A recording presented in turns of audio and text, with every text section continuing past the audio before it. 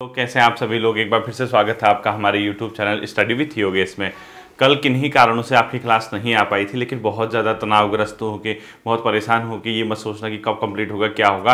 आज संभवतः नाइनटीन या ट्वेंटी नंबर की जो क्लास है क्रैश कोर्स की नाइन्टी डेज़ बहुत जल्दी में आपको मतलब जितना हो सकता है मुझसे उतनी जल्दी कवर करवाने की कोशिश करूँगा। यानी आप मान के चलिए वीक में अगर आपकी सात के साथ क्लासेस नहीं भी आई तो चार या पाँच क्लासेस क्रैश कोर्स की रहेंगी ही रहेंगी, ठीक है?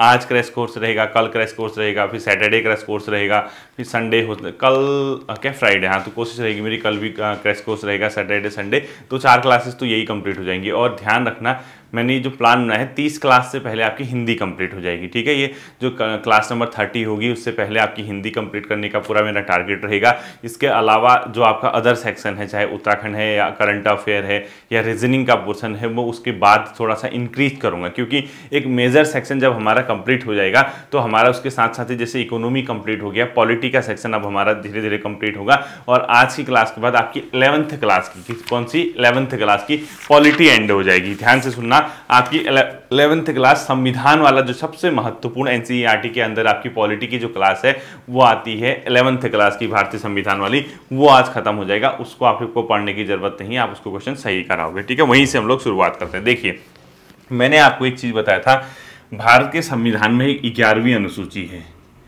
ग्यारहवीं अनुसूची, ठीक है? और इस ग्यारहवीं अनुसूची का संबंध भी बताया था, मैंने आपको किस चीज़ से है?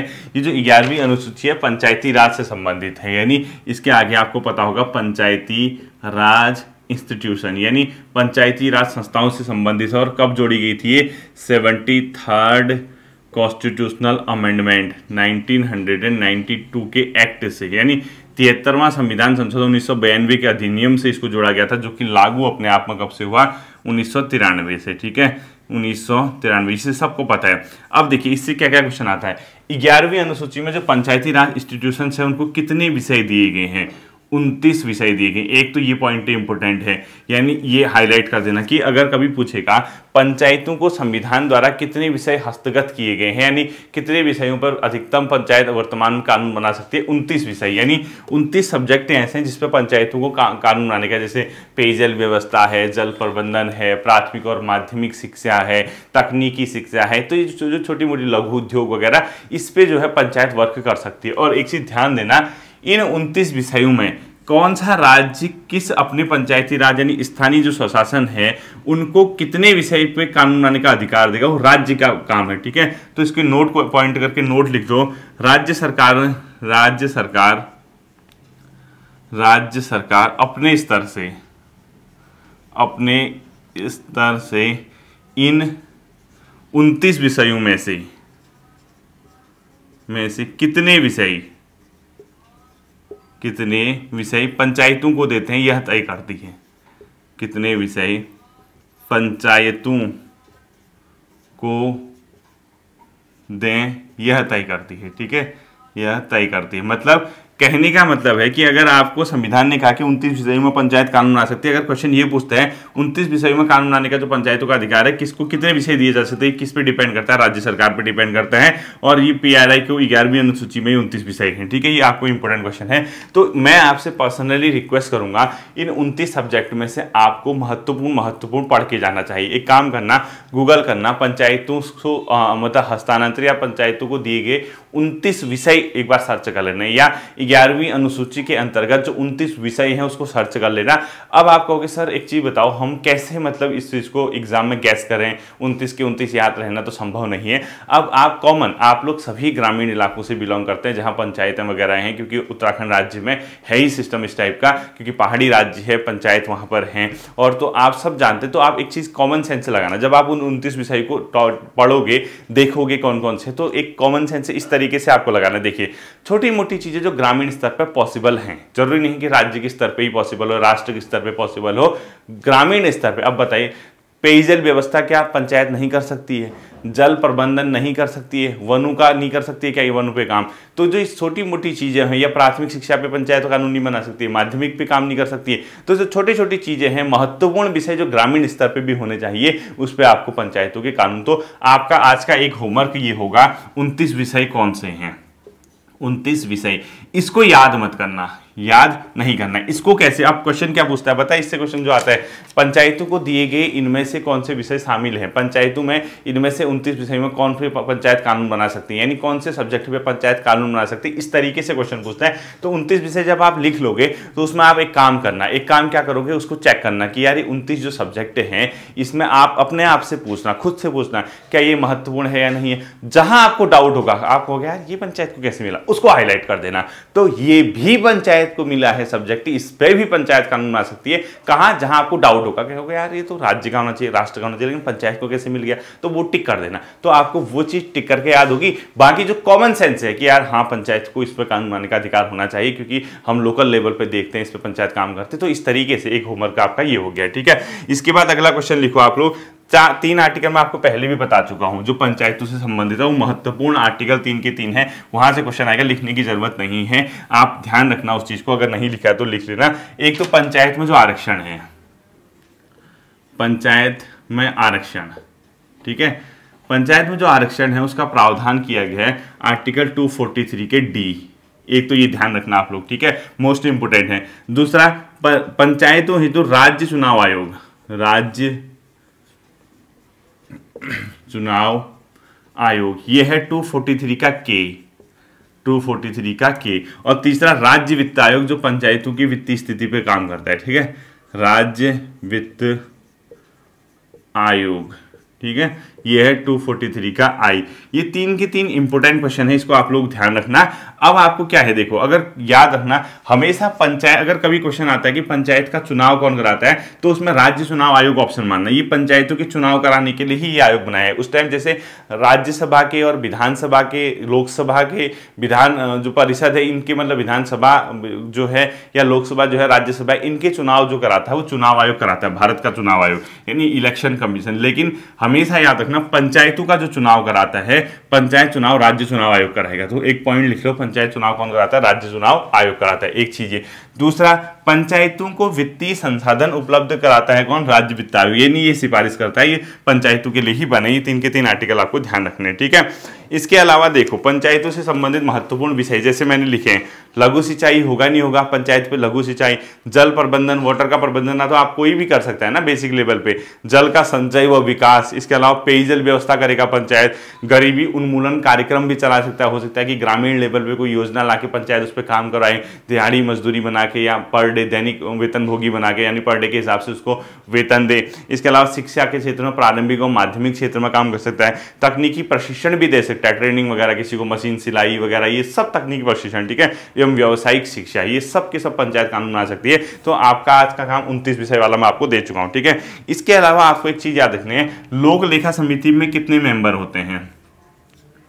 लोक, लेखा, समिति। इसमें कितने मेंबर होते हैं? पंद्रह प्लस सात, ये बहुत आता है पेपर में, ठीक है? लोक, लेखा, समिति में बच्चों टोटल होते हैं, अगर कुल सदस्य पूछेगा, बाईस सदस्य।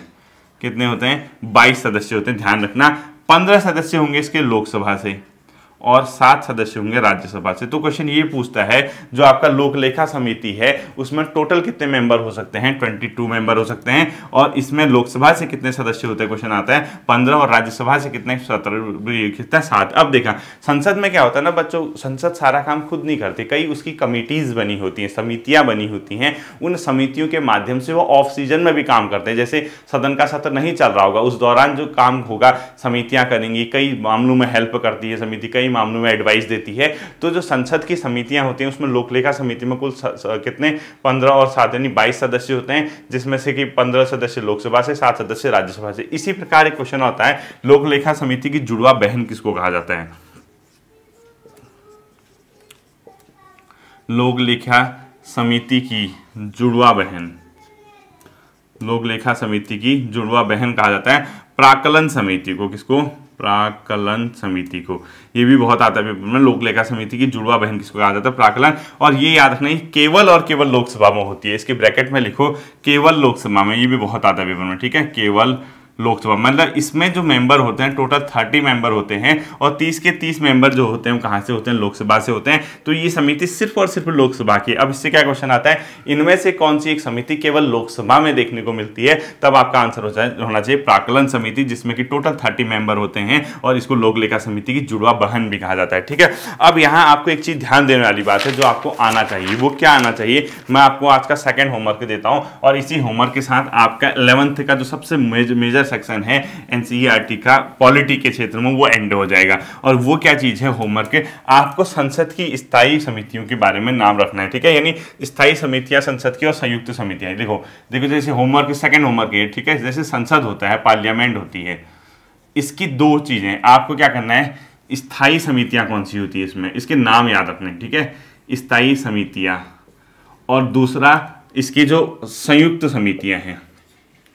संयुक्त मतलब जहाँ इसमें लोकसभा प्लस राज्यसभा दोनों के मेंबर होंगे और स्थायी मतलब जो परमानेंट होती है, ठीक है? ऐसा नहीं कि एक साल के लिए नियुक्त करो, फिर खत्म कर दो, ऐसा नहीं। स्थायी समितियों के कौन कौन से नाम है? तीन चार नाम इसकी याद रखना, ठीक है? और संयुक्त समितियों के तीन चार नाम याद रखना। यानी एक हल्का सा ब्रीफ आइडिया संसद की समितियों के बारे में आप लोग पढ़ लेना। आपके सिलेबस का हिस्सा नहीं, लेकिन एनसीईआरटी के आधार पर मैं चाहता हूँ कि आपको ये आना चाहिए ऐसे क्वेश्चन आ सकता है। तो आप लोग ये काम करेंगे आज, ठीक है? दो होमवर्क हैं। संसद की स्थायी और संयुक्त समितियाँ आपको ढूंढनी है। इसके अलावा आपको क्या देखना है आ, मतलब जो संसद की संयुक्त समिति है ये आप लोग करोगे आज ठीक है गूगल पे। अब देखना मेन क्या चीज़ है? उत्तराखंड जैसे आप लोग पढ़ रहे हो, उत्तराखंड आती है। मैंने आपसे क्या कहा, मैं ये 90 डेज़ के क्रैश कोर्स में बहुत बेसिक कला बेसिक क्वेश्चन नहीं कराऊँगा। यानी आप ये मत उम्मीद करना कि सर ये पढ़ाएँगे, झील कहाँ पर है, ये नदी कहाँ पर है, इस टाइप की चीज़ें नहीं। मतलब अगर मैं ये पढ़ाऊँ, अगर मैं आपको उत्तराखंड के प्रमुख राष्ट्रीय उद्यान या राष्ट्रीय नेशनल पार्क पढ़ाऊँ, जैसे मैंने कहा कॉर्बेट नेशनल है, गंगोत्री है नंदा देवी है, फूलों की घाटी वगैरह, ये चीज़ें हैं। तो मैं ये उम्मीद करता हूँ कि आपको इसका क्षेत्रफल लगभग एक मोटा मोटा आइडिया कि सबसे बड़ा कौन सा है, सबसे छोटा कौन सा है। इसके साथ ही इसमें जो क्रम है, यानी ईस्ट से वेस्ट या वेस्ट से ईस्ट का जो सीरीज़ है, सबसे पश्चिम में कौन सा है, सबसे पूर्व में कौन सा है, इसके अलावा इस टाइप की जो चीज़ें हैं, ये पता होनी चाहिए। कहने का मतलब है, अगर मैं उत्तराखंड पढ़ाऊँ मैंने उत्तराखंड के अंदर नेशनल पार्क पढ़ा रखे हैं, जिला सीरीज़ के अंदर बहुत अच्छे से तो कॉर्बेट के बारे में आपको ए टू जेड पता होना चाहिए। कॉर्बेट कहाँ है, किन जिलों में है, इसके अलावा इसकी सीरीज़, यानी इसका क्रम। अब क्रम का मतलब आपको आज क्या करना है, देखो, आप ये, मैं क्योंकि पढ़ा चुका हूँ, यहाँ पर टाइम खराब हो जाएगा दोबारा उसी चीज़ को। राष्ट्रीय पार्क, उत्तराखंड के लिखो उत्तराखंड के राष्ट्रीय पार्क का पश्चिम से पूर्व क्रम। में क्रम क्या होगा, ठीक है? यानी मैं ये कहना चाह रहा हूँ कि आप क्या करना, उत्तराखंड का मैप ट्रेस करना। देखना है सबसे पश्चिम में कौन सा है? गंगोत्री कहाँ पर है? केदारनाथ वगैरह कहाँ है? नंदा देवी वगैरह कहाँ है? कॉर्बेट वगैरह कहाँ है? अस्कोट वन्य जीव अभ्यारण्य, यानी जितने जीव अभ्यारण्य हैं, जितने नेशनल पार्क हैं, उत्तराखंड के प्रमुख नेशनल पार्क के बारे में और उत्तराखंड के प्रमुख जो अभ्यारण्य हैं, इनका पश्चिम से पूर्व की ओर क्रम याद रखना, क्योंकि कभी कभी सीरीज़ के अंदर पूछा जाता है कौन सा सबसे पूर्वी है, सबसे कौन सा पश्चिमी है, ठीक है? अब देखो राजा जी राष्ट्रीय उद्यान राजा जी राष्ट्रीय पार्क है, ये आपको पता होना चाहिए, नहीं होना चाहिए, बिल्कुल होना चाहिए। गंगोत्री कहाँ पर है, इसकी लोकेशन ट्रेस करना है आपको, पश्चिम से पूर्व कौन सा है। तो आप क्या करना, सबसे वेस्ट से सबसे ईस्ट की ओर आना। देखना कि सबसे वेस्ट में कौन सा है, सबसे ईस्ट में कौन सा है, ठीक है? ये आपको आना चाहिए। तो लिखो, जैसे आपको एक क्वेश्चन पता है Jim Corbett Jim Corbett park यानी कॉर्बेट पार्क जिसको मैं कहता हूँ, कब बना था? 1936 ठीक है? अब इसका क्षेत्रफल कितना है? आपको ये एग्जैक्ट पता होना चाहिए। क्यों? क्योंकि ये कभी कभी क्षेत्रफल को मिलाने को क्वेश्चन पूछ सकता है। यानी ये क्या कर देगा? चार राष्ट्रीय पार्क दे देगा, उसका क्षेत्रफल दे देगा, ऐसे मिलाना होगा। तो मैं ये चाहता हूँ कि जितने भी राष्ट्रीय पार्क हैं, आज इसका क्षेत्रफल वगैरह आपको कंप्लीटली क्या होना चाहिए? पता होना चाहिए। यानी इसका क्षेत्रफल कितना है, ये आपको ढंग से पता होना चाहिए। किन जिलों में फैला है? अल्मोड़ा नैनीताल और पौड़ी। यानी कभी क्वेश्चन पूछता है कि जिम कॉर्बेट पार्क या नेशनल पार्क जो है, कितने जिलों में फैला है? तीन जिलों में। उन तीन जिलों के नाम आपको बताना चाहिए, अल्मोड़ा, नैनीताल और पौड़ी ज़िले। इन तीन जिलों में ये फैला है। और ये जो है, अपने आप में इसका जो क्षेत्रफल है, वो अच्छे से आपको पता होना चाहिए। अब आपको क्या लग रहा है कि सर ये पढ़ाएँगे कि हेली नेशनल पार्क के नाम से जाना जाता था, इतने में इसको कॉर्बेट नेशनल पार्क कहा गया। ये उन्नीस सौ सत्तावन में ये हुआ। ये तो फिर बहुत बेसिक हो जाएगा ना। ये तो फिर घिसी पिटी चीज़ें हो जाएँगी। परीक्षा वाणी में भी आपको मिलता है, हर जगह मिलता है। और उतना अगर पढ़ा रखा है पहले तो फिर तो ये बेवकूफ़ी हुई। अब मैं सपोज़ कभी न्यूज़पेपर से संबंधित क्वेश्चन कराऊँ तो ये थोड़ा ना पढ़ाऊँगा कि अल्मोड़ा अखबार कब निकला, अल्मोड़ा अखबार का पहला संपादक। ये तो बेसिक हो गया ना। ये बहुत हल्की चीज़ है। ये आपका भले ही रिविजन हो जाएगा, लेकिन आपको जब चीज़ें आती हैं तो उसको अनावश्यक दोबारा करना सही नहीं है, ठीक है? इसके बाद आपको देखना है क्या देखो। क्षेत्रफल आपको ये पता चल गया इसका, ठीक है? नेक्स्ट क्वेश्चन लिखना आपको। सोना नदी वाइल्ड लाइफ सेंचुरी हिस्सा है किसका? अब जैसे ये क्वेश्चन है, ये थोड़ा सा हटके है। देखो, सोना नदी क्या लिखोगे? सोना नदी wild life sanctuary wild life sanctuary किसका हिस्सा है? किसका हिस्सा? यानी कहीं ना कहीं कॉर्बेट से अटैच करता है तो कॉर्बेट नेशनल पार्क लिख दो, ठीक है? कार्बेट का अपने आप में ही हिस्सा है कॉर्बेट का कॉर्बेट टाइगर रिज़र्व का हिस्सा है। इसे लिखो Corbett tiger reserve tiger reserve ठीक है? अब यहीं पे देखिए बाई चांस उसने कभी क्वेश्चन पूछ दिया, सोना नदी वाइल्ड लाइफ सेंचुरी के समक्ष कौन सी नदी बहती है? किसके मतलब तट पे ये सेंचुरी है, कौन सा है? तब आपका इसका आंसर होगा सोना नदी, जिसको गोल्ड रिवर भी कहते हैं। देखो, अब देखो बाई चांस क्वेश्चन ये सोना नदी के तट पर है, ठीक है? सोना नदी के तट पर, और इसी सोना नदी को बोला जाता है गोल्ड रिवर गोल्ड रिवर अब यहाँ से क्वेश्चन हट गया, देखो। यहाँ से थोड़ा सा हट गया। अब इतना तो सबको पता होगा। एक यहाँ पे थोड़ा सा कंफ्यूज होगा, दूसरा ये तो सबको पता होगा। लेकिन अगर कभी ये क्वेश्चन पूछता है कि गोल्ड रिवर किसका अन्य नाम है तो सोना नदी का नाम है। ध्यान रखना, या कभी ऐसे पूछ सकता है, सोना नदी वाइल्ड लाइफ सेंचुरी किसके तट पे है? गोल्ड रिवर भी ऑप्शन दे सकता है। वो उसने कुछ नहीं करना है। वो ये जानना चाह रहे कि इस बच्चे को, इस छात्र को, इससे थोड़ा सा हट के अगर मैं क्वेश्चन करूँ तो इसको आता है या नहीं आता है, ठीक है? नेक्स्ट क्वेश्चन देखो। कार्बेट का म्यूज़ियम कहाँ पर है? आपको सबको पता है। कॉर्बेट म्यूज़ियम कहाँ है? Corbett museum. ये सबको बताइए कहाँ है काला ढूँगी में। काला ढोंगी में ठीक है? जहाँ पर कॉर्बेट से संबंधित उसकी यादों से संबंधित चीज़ें रखी गई अब चलो उसने कुछ नहीं अब आप कहोगे ना हमारा आयोग है उल, उल्टा सुल्टा क्वेश्चन पूछता है ये पूछता है वो पूछता है। बाई चांस उसने कह दिया कि कॉर्बेट म्यूज़ियम से संबंधित जो बिल्डिंग है जो भवन है वो वो कब बना था? नाइनटीन में। तो वहाँ क्वेश्चन हटके हो जाता है। वो ये उम्मीद करता है कि ऐतिहासिक धरोहर है। हमारे जितने भी छात्र पढ़ने वाले हैं जितने भी एग्ज़ाम में बैठने जा रहे हैं उनको ये चीज़ें पता होनी चाहिए। अगर आपको ये आप चीज़ों को पूरा अपने दिमाग से अपने फ्रेम से ओपन करके जाओ जाओगे तो कुछ टफ नहीं होता।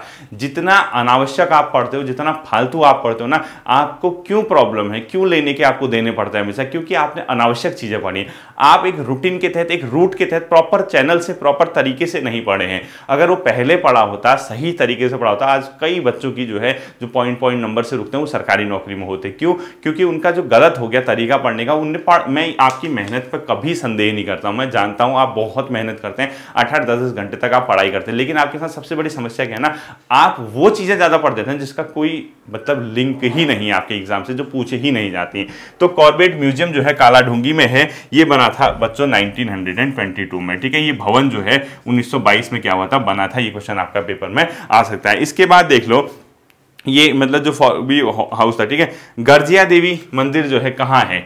रामनगर के पास है। तो गर्जिया देवी मंदिर जो है किस नदी के तट पे है? गर्जिया देवी। यह है कोसी नदी के तट पे। किसके? कोसी नदी के तट पे। ये क्वेश्चन भी कभी कभी देखने को मिल सकता है। कोसी नदी के तट पे है, ठीक है? और ये रामनगर नैनता अगला देखो, नंदा देवी बायोस्पर अब यहाँ पे क्वेश्चन देखो। नंदा देवी जैसे अब कल ही परसों एक यूपीएससी ने क्वेश्चन पूछा था। यूनियन पब्लिक सर्विस कमीशन ने पाँच जून का वो क्वेश्चन है, ठीक है? उसका पिलियम्स हुआ था। उसमें क्वेश्चन क्या आया था? नंदा देवी जो राष्ट्रीय वो है, नंदा देवी पीक, कि हिमालय क्या किसका हिस्सा है? कुमाऊं हिमालय, गढ़वाल हिमालय, इस तरीके से। मैक्सिमम लोग वहाँ फेल हो गए। उनको ये लगा चमोली में है तो इसको गढ़वाल हिमालय। उसने क्वेश्चन किस आधार पर पूछा था पता है? नदियों के आधार पर यानी एक आपने भूगोल में पढ़ा होगा, जो बहुत बार पूछा जाता है, जैसे सिंध से सतलज पंजाब हिमालय सतलज से, काली तक, कुमाऊं, हिमालय। उसने उस साइंस में पूछ दिया, कई बच्चे उसको गलत कर आई ठीक है? क्योंकि वो ढंग से पढ़ा नहीं। तो ऐसे लगा कि यार वहाँ है तो गढ़वाल, हिमालय कर जाता हूँ। ऐसा नहीं था गढ़वाल, हिमालय का तो नाम ही नहीं है इस आधार पर उसमें तो कुमाऊं, हिमालय, अपने आप में नेपाल, हिमालय, इस तरीके से उसको सेपरेट किया गया। तो ऐसे क्वेश्चन भी पूछते तो देखो नंदा देवी बायोस्पियर जो है, किन नदियों के, किन पर्वत श्रेणियों के संगम पे है? नंदा देवी बायोस्पियर लिखो। बायो स्पेयर ठीक है?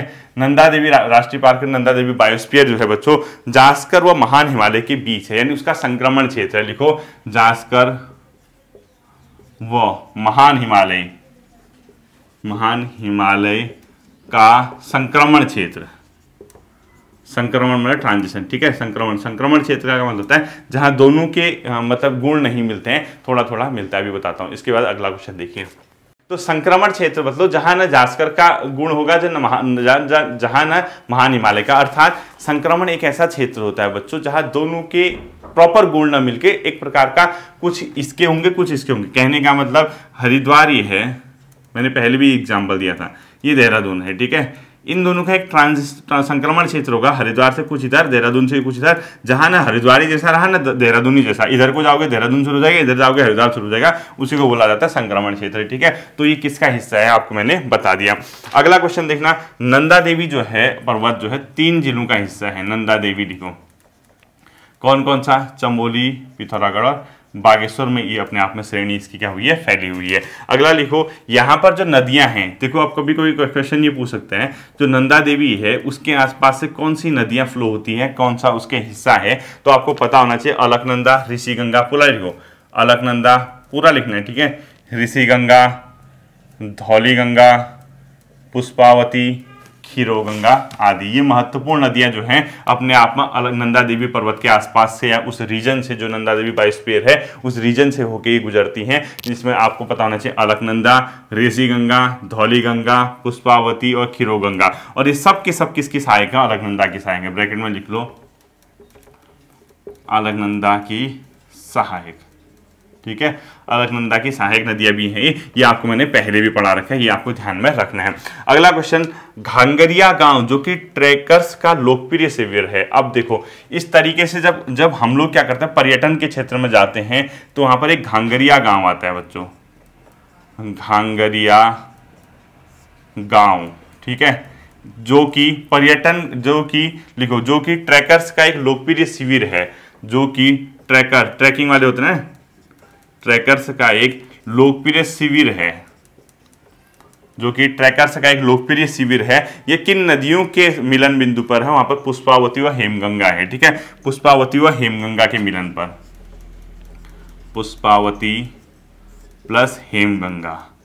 अब देखो, मैं क्या कहना चाह रहा हूँ आपसे? मैं ये कहना चाह रहा हूँ, आप इसको हल्का मत समझना। ये जो घंगरिया गाँव है, ये क्योंकि अगर नंदा देवी पर्वत पर्वत की ओर जाना है या नंदा देवी बायोस्फीयर की ओर जाना है तो ये गाँव पड़ता है तो वहाँ पे शिविर है। एक प्रकार का लोग रेस्ट करते हैं वहाँ पे तो वो बहुत ज़्यादा बड़ा कैंप भी है। तब क्वेश्चन इस तरीके से पर्यटन के आधार पर यहाँ से पूछे जाते हैं, ठीक है? नेक्स्ट लिखो आपको, हेमकुंड साहिब समोली में दस वर्ष तक किस सिख गुरु ने अपने आप में तप किया था? गुरु गोविंद सिंह ने, ठीक है? तो लिखो, हेमकुंड साहिब हेमकुंड साहिब चमोली में, हेमकुंड साहिब चमोली में किस सिख गुरु ने 10 वर्ष तक तप किया था? गुरु गोविंद सिंह ने, ठीक है? यानी कहीं ना कहीं हेमकुंड साहिब से कौन से सिख गुरु का संबंध है? गुरु गोविंद सिंह। हेमकुंड साहिब में किस सिख गुरु ने 10 वर्ष तक क्या किया था? तप किया था या 10 वर्ष तक ध्यान किया था? लिख दो, जो भी लिखते हो, ठीक है? लिखो, गुरु गोविंद सिंह, इनके दसवें गुरु थे।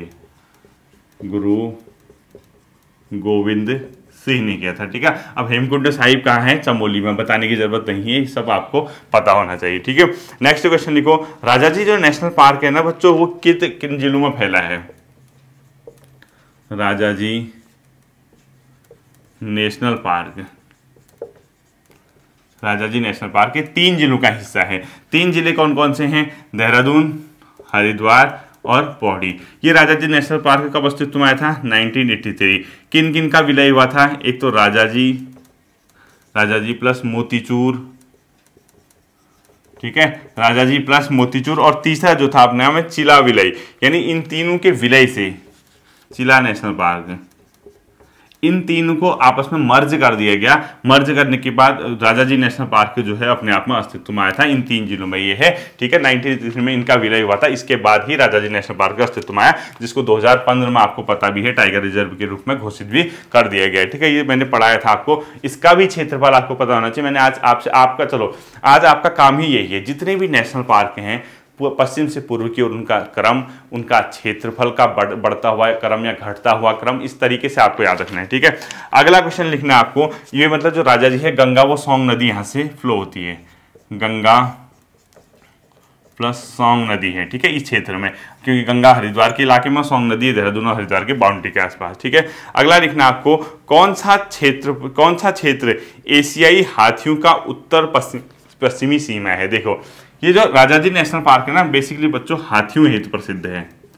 हाथियों हेतु जाना जाता है, ठीक है? जैसे कॉर्बेट पार्क जो है हेतु जैसे कॉर्बेट नेशनल पार्क है, बंगाल टाइगर के लिए जाना जाता है, बंगाल टाइगर जिसको बोलते हैं, कॉर्बेट नेशनल पार्क, ठीक है? इसी प्रकार से जो राजाजी वाला है, वो हाथियों के लिए जाना जाता है। अब एक चीज़ आपको ये ध्यान रखनी है, जो एशियाई हाथी है उसका जो उत्तर पश्चिमी सीमा है, यानी बाउंड्री है सपोज़ हम ये एक मतलब वो बनाते हैं, ये है। ये पूरे में सपोज़ बाई चांस आपका एशिया फैला हुआ है, इतने हिस्से में, ठीक है? अब ये एशिया फैला है तो इसका ये मतलब है उत्तर पश्चिमी। ये नॉर्थ हो गया, ये ईस्ट है, ये साउथ है और ये वेस्ट है। उत्तर मतलब नॉर्थ वेस्ट मतलब साउथ मतलब ये, ठीक है? सॉरी वेस्ट मतलब पश्चिमी। नॉर्थ और वेस्ट इसकी जो सीमा है, कहीं बाउंड्री यानी ये, यानी लास्ट कोना जो है, ये क्षेत्र राजा जी का है। बाकी एशिया में और जगह भी पाए जाते हैं तो उत्तर पश्चिमी सीमा हाथियों की जो है, राजा जी नेशनल पार्क के पास आके खत्म होती है, ठीक है? तो अगला क्वेश्चन आपने लिखना है कौन सा क्षेत्र एशियाई हाथियों की उत्तर पश्चिमी सीमा है? कौन सा क्षेत्र, कौन सा क्षेत्र एशियाई हाथियों की, एशियाई हाथियों की उत्तर पश्चिम नॉर्थ वेस्ट सीमा है बाउंड्री है तो अपने आप में कौन सा हो जाएगा? ये राजा जी ठीक है? राजा जी नेशनल पार्क अपने आप में एशियाई हाथियों का उत्तर पश्चिमी अपने आप में क्या है? सीमा है, ये आपको ध्यान रखना है, ठीक है? नेक्स्ट क्वेश्चन ये मुझे लगा कि आपका इंपोर्टेंट हो सकता है। पशुलोक या चिला बैराज? ऋषिकेश में है, ध्यान रखना, इस पशुलोक को चिला बैराज भी कहते हैं, ठीक है? इनमें से एक नाम आपका आ सकता है, ये ऋषिकेश में है तो लिखो, Pashulok oblique Chila barrage. Pashulok oblique Chila barrage. Pashulok oblique Chila, barrage. ये अपने आप में कहाँ है पशुलोक और चिला बैराज? ऋषिकेश में, ठीक है? और ऋषिकेश कहाँ पड़ता है? अपने आप में देहरादून में पड़ता है। ये क्वेश्चन भी आपको पता होना चाहिए। अगला लिखो, गंगोत्री राष्ट्रीय पार्क की स्थापना कब हुई थी? गंगोत्री राष्ट्रीय पार्क ठीक है? ये बना था बच्चों 1989 में, यानी उन्नीस सौ नवासी में इसकी क्या की गई थी? स्थापना की गई थी 1989 में। ये क्वेश्चन भी आपको आना चाहिए और इसका क्षेत्रफल भी आपको पता होना चाहिए। मैंने आज का होमवर्क दिया है। देखो, उत्तराखंड का लद्दाख किस क्षेत्र को कहा जाता है? उत्तराखंड का लद्दाख। ये है बच्चों नेलांग घाटी को, उत्तरकाशी में, ठीक है? नेलांग वैली, नेलांग घाटी। ये गंगोत्री के ही पास है, ठीक है? नेलांग घाटी, उत्तरकाशी कर दो ब्रैकेट में नीलांग घाटी उत्तरकाशी को कहा जाता है। इसके बाद चंद्रवंश की ग्रीष्मकालीन राजधानी लिखो। ये मैं बहुत बार करा चुका हूँ। चंद्रवंश की ग्रीष्मकालीन राजधानी। यह है अपने आप में बिनसर अल्मोड़ा वाला, ठीक है? बिनसर में इसकी क्या है ग्रीष्मकालीन राजधानी, ये आपको ध्यान में रखना होगा। अब देखिए, इससे आगे जैसे कई बच्चे का का मैसेज आता है, सर, हमारा फॉरेस्ट गार्ड का एग्ज़ाम है हमारे लिए भी कुछ सोच दीजिए हमारे लिए कुछ सोचने का मतलब उनका ये कहना था, जितना मैं समझ पा रहा हूँ, वो ये कह रहे थे कि, सर, थोड़ा सा आप हमें कंप्यूटर और रीजनिंग के क्वेश्चन करा दीजिए। संभवतः मैं ये समझ रहा हूँ, क्योंकि उनका ये कहना था, उत्तराखंड तो बहुत है सोर्स मतलब आपने पहले करा रखा है, क्या हुआ? क्रैश कोर्स जितना कवर हो पाता हो पाता, नहीं तो हमने जिला series individual topic series Uttarakhand history परीक्षा परीक्षावाणी ये कर रखी है आपकी क्लासेस से तो हमें फ़ायदा तो हो ही जाएगा। दूसरा जीएस के परिप्रेक्ष्य में भी उनका यही कहना था, sir GS study with Yogesh two point zero आप चला ही रहे हो, उसको पढ़ा ही रहे हो साथ साथ ही हम लोग इसको कवर कर रहे हैं, बाकी चैनल में पढ़े ही हैं आपके। लेकिन कंप्यूटर और रीजनिंग पे कॉन्फिडेंस नहीं आ पा रहा। अब देखिए, जितना मैं समझ पा रहा हूँ जितना, अभी अगर आपका जुलाई में एग्ज़ाम होता है तो जैसे आज कौन सी क्लास है? नाइनटीन होगी शायद। तो 20 या 21 या 23 यानी 22 23 तक, एक दो क्लासेस दो तीन क्लासेस में जैसे हिंदी उपसर्ग प्रत्यय वाला एंड कर दूँगा, उसके बाद थोड़ा सा हल्का हो जाएगा हिंदी का सेक्शन क्यों? क्योंकि फिर मेन टॉपिक जैसे संधि से क्वेश्चन आते हैं, वो बसता है। बिलो मिलोम तो आपको खुद ही पढ़ने पड़ेगा बच्चे मैंने आपसे पहले कहा, उसका एक ही तरीका है, उसमें कुछ नहीं किया जा सकता, शब्द आधारित है, ठीक है? इसके बाद हिंदी में जो सेक्शन रहता है मेजर सेक्शन दो नंबर के यहाँ से क्वेश्चन आते हैं, हिंदी साहित्य वाला है, क्योंकि पत्रकारिता वाले क्वेश्चन से मैंने आपको इंपोर्टेंट इंपोर्टेंट करा दिए है। इसके अलावा जनसंचार से बहुत ज़्यादा क्वेश्चन आने की उम्मीद है नहीं, आएगा भी तो आप कर ही लोगे उसको। पत्रकारिता के बाद जो सॉरी जो उत्तराखंड का जो मतलब जो आपका साहित्य वाला पोर्सन है, उसके संबंधित फैक्ट मुझे कराने हैं। और मुझे ये लगता है कि अगर मैं चार पाँच क्लासेस के दौरान उसको बताते रहूँ तो आपका उससे काम बन जाएगा। मतलब बहुत ज़्यादा तनावग्रस्त, सारी की सारी कहानियाँ पढ़ दें इंपॉर्टेंट देखनी है। और क्वेश्चन यही आता है जो कहीं ना कहीं चर्चित रहा हो, ठीक है? वो मैं कर दूँगा। जैसे ही आपका पच्चीस, छब्बीस, सत्ताईस क्लासेस होंगे या अट्ठाईस, उनतीस क्लास होंगे, चलो तीस क्लास मान के चलो।